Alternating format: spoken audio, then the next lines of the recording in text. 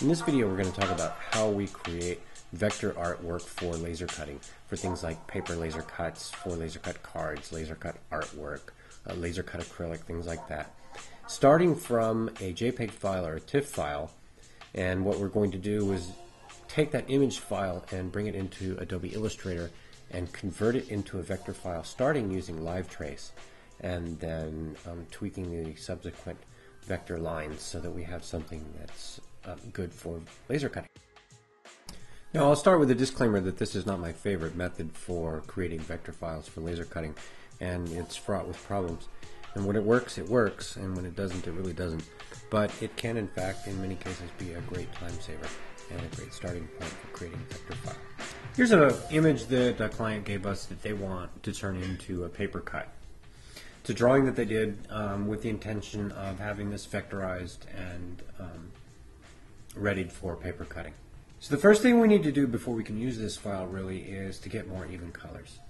Um, if we try and if we try and run live trace on this in the Illustrator, it's just not going to work. It's going to see all these different variations of gray and even trying to reduce the number of colors that it picks to create um, a live trace drawing. It's just not going to work.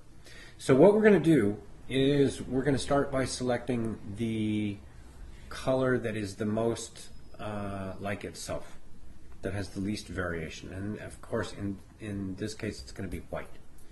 So what we're going to do is we're going to go up here in Photoshop and select a color range, and we're going to put an eyedropper on white, and we're going to slide it around, and we're going to get as much as we can. We can actually afford to do a lot because um, there are very few color variations in this file.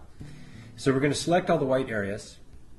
And the first thing we're going to do is we're going to do a Shift F5 to fill those. And we're going to fill the white areas with white.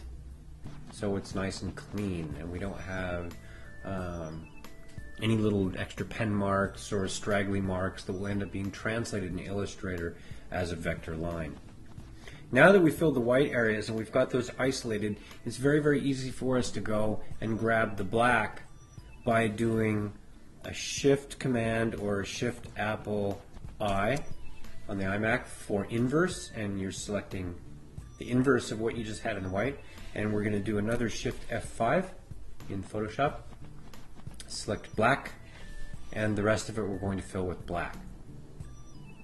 Now we've got two clean colors and this is the image that we're left with. Now we have a clean black and white image to start with and this is the image that we're going to use in uh, Illustrator's LiveTrace to begin to create a vector graphic for laser cutting. Tell if you zoom in a little bit closer into the file, you'll see that there are a, a lot of little jaggies. It's, the drawing's pretty well done, but you get a, a lot of stuff like this that's going to cause all these little things are going to cause problems when you try and actually use LiveTrace in Illustrator and create a vector file from this. But uh, we're going to go ahead and run through the exercise and show you uh, some of the problems associated with it and, and uh, how it's done. We're going to start a new file here. We're going to call this paper cut 4 and we're going to make the file about 10 inches by 12 inches. And we're going to go find that file and we're going to place it in here so that we can um, use it for for live trace. And we're going to place the file there. Okay. When we run live trace, we're going to want to use um, black and white logo because what we want to do is we want, um, we really want Illustrator to simplify the drawing as much as possible, not look at any color variations, and hopefully ignore some of the grays um, that are in the little spotty areas. Now that we've run live trace on that, we're going to expand it. And the first problem that we have is that we have both white space and black space. And what we're really after is the white. All, all these white areas, we're interested in the outlines for those, which will become cut lines. The black area, um, we really want to throw away. The problem with having both the white and the black is we may see it the laser sees it different than we do. We may see it as one thing, but the laser sees each one of those lines twice.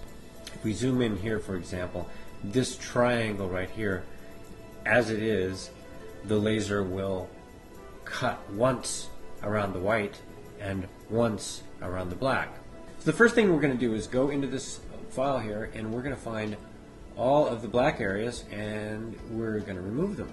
Right now it appears that they are all inside one compound path and we're at least going to try here and see what we get. We're going to take that compound path and we're going to trash it.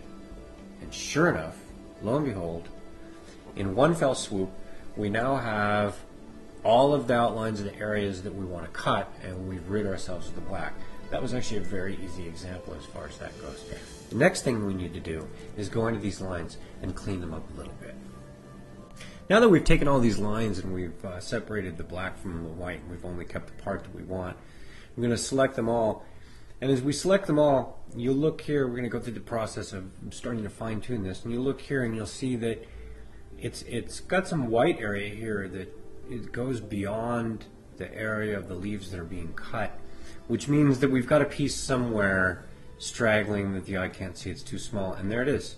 So if you was going to say if you um, if you drag around a little bit like this and try and select areas, you'll soon figure out where that straggling piece is, and there it is. We've got a, element there that we don't want. Um, no, not that one right there. I'm just going to drag it off that line to see what it is, and sure enough, it was just a line. The next thing we need to do here is go in and